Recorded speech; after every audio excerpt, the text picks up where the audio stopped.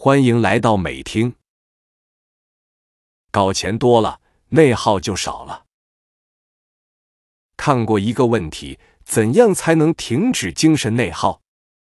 作家老杨的猫头鹰在书中写道：“绝大多数情绪问题都可以用四个字镇住，搞钱要紧。赚钱多了，内耗自然就少了。世上百分之九十的痛苦烦恼都能靠钱解决，剩下的百分之十也需要钱来缓解。自卑的时候，搞钱是疗愈。”俞敏洪说。解决自卑的办法就是搞钱。俞敏洪进入大学后，整整自卑了三年。那时他周围都是王强、徐小平这种特别能干的人，只有他是一个来自农村的土包子，没读过几本书，也没多大见识。入学第二天，他看到舍友躺在宿舍的床上看《第三帝国的兴亡》这本书。看上去很是高深，更重要的是，俞敏洪从来没有读过。他问舍友：“上大学还要读这种书啊？”舍友没说话，把书本从脸上拿下来，白了他一眼。一瞬间，俞敏洪意识到自己的无知，同时也让他陷入深深的自卑。曾经引以为傲的英语，在旁人面前根本不值一提。成绩一再下滑，让他从 A 班调到 C 班，而家境的落魄更是一度让他在同学面前抬不起头。他因此备受打击，不断贬低自己，将自己推入一无是处的深渊。但他又不甘如此，于是开始疯狂学习赚钱，包下周末的食堂办舞会，找人卖票，用磁带翻录歌曲，再卖给同学。后来又做大学生诗刊。只要是能赚钱的，他都去尝试。后来事业风生水起，他才逐渐变得开朗，能站在台上讲话，大胆表露自己的想法，而不是只在角落当个小小的听众。路遥说：“钱是个好东西，它能使人不再心慌，并且叫人产生自信。”生活中，每个人都会有不同程度的自我否定。可能是出身不好，可能是性格软弱，可能是事业无起色，但无论哪种，本质上都是对自我价值的否定，从而丧失了信心。而钱就是一个人价值最直接的体现，它是一个人实力的象征，也代表着社会的认可和尊重。只要你不断搞钱，生活就会给你果实，给你满足。当你在这个过程中不断获得成就和价值认可时，自然也能走出自我否定的怪圈。纠结的时候，搞钱是出路。媒体人朱诺讲过自己的故事。一直以来，他都是一个喜欢纠结、重度拖延的人。回人讯息时，会纠结这样回好不好，会不会伤人。明明几分钟就能搞定的事，硬生生拖了半小时。有事想拜托同事帮忙，他也会一个人犹豫半天，最后还是不知如何开口。但自从开始搞钱后，他彻底改变了这种心态。因为短视频冲击，很多人纷纷转到了短视频领域。他也想过做短视频，可一想到拍摄视频，他就陷入了深深的内耗。是要躲在文字后面，还是要出镜面对用户？你好像不适合出镜，写作才是你的主场。但你的口头表达很笨拙生涩，你也没学过拍摄、剪辑，什么都要从头开始学。直到写文章的收入根本无法保障生活，不得已，他必须往短视频方面发展。于是他开始学拍摄、剪视频、做脚本。刚开始时，他还感觉有些困难，但慢慢的，账号有了粉丝，有了收益，也开始有了广告。他欣喜若狂，于是开始卯足劲去改进自己的文案和镜头表达力，以获取更多收益。而当他不断在短视频领域赚到钱时，他这才发现之前所有的纠结内耗都消失了。心理学上讲，及时的正向反馈。会对所表现的行为起促进作用，而搞钱就是一种正向反馈。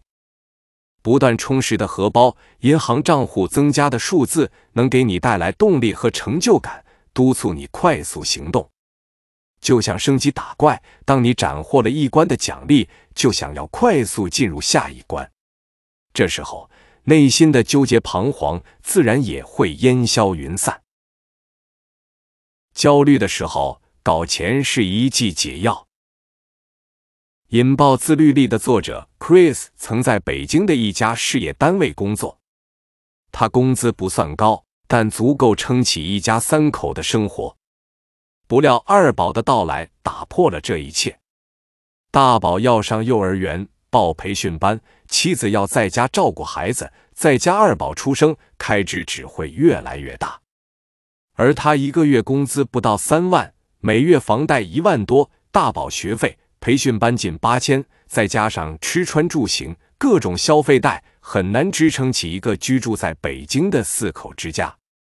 那段时间，Chris 整夜整夜的失眠，满脑子都是怎么省钱。可房贷、车贷、学费都不能省，除了吃穿，没一个地方能削减。更多时候，他甚至要靠信贷来支撑。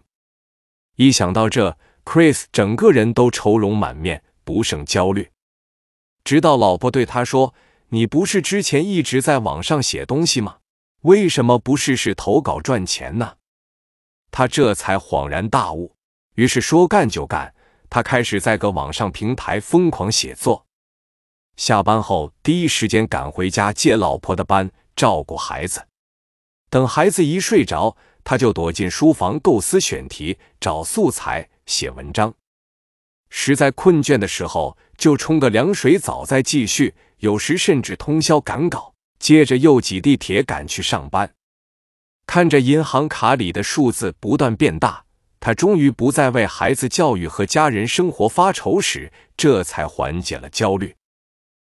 到了一定年纪，就会发现生活中大部分的忧虑都和钱有关，但在金钱上节俭能缓解一时，却很难缓解一世。与其让自己的身心在越扣越省中焦灼不已，不如以搞钱来治愈。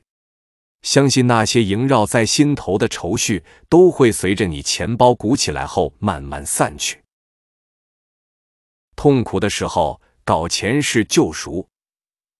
稻盛和夫曾说：“人只要沉浸在工作之中，就不会胡思乱想，也不会沉迷过往。”换而言之，工作赚钱就是治愈苦楚的一剂良药。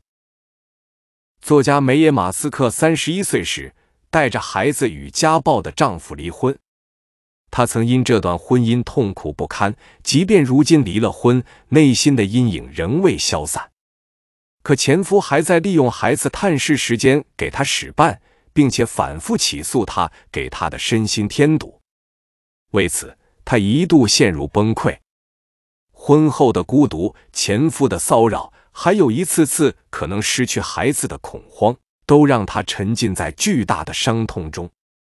他也曾试图走出这种伤痛，但无论做什么，脑海里还是会回旋此前种种糟糕的画面。直到他开始重拾自己的事业，他想借着工作来转移自己的注意力，借着赚钱重拾自己的价值。于是。他大量学习营养学知识，每天跑医院寻求合作，同时开始模特工作。虽然时常感觉时间紧迫，但忙碌的工作帮他转移了痛苦，让他有了重新站起来的勇气。随着事业有了起色，他的心情也越来越好，成就感也越来越足。随后，他又在三个国家开展自己的事业，并获得了两个硕士学位。因为事业风生水起，前夫反而也越来越尊重他。樊登老师曾表达过一个观点：在你最痛苦、最无助的时候，你就应该认真的去工作搞钱，它能扭转你的人生。搞钱是一种救赎。当你全身心去赚钱、去投入工作，内心便会不断涌现新的希望。生活的痛苦会得到转移，心里的痛苦也会得到抚慰。很认同这句话，钱就是熨斗，能熨平你脸上的愁容，也能熨平你内心的褶皱。所有的焦虑不安、痛苦无助，都能在赚钱中得到缓解。情绪低落了，心情烦闷了，就去搞钱。当你专心搞钱的时候，内心的自信、鼓起的钱包，都能让你重新拥有笑对生活的底气。订阅美听，我在这里祝你生活愉快。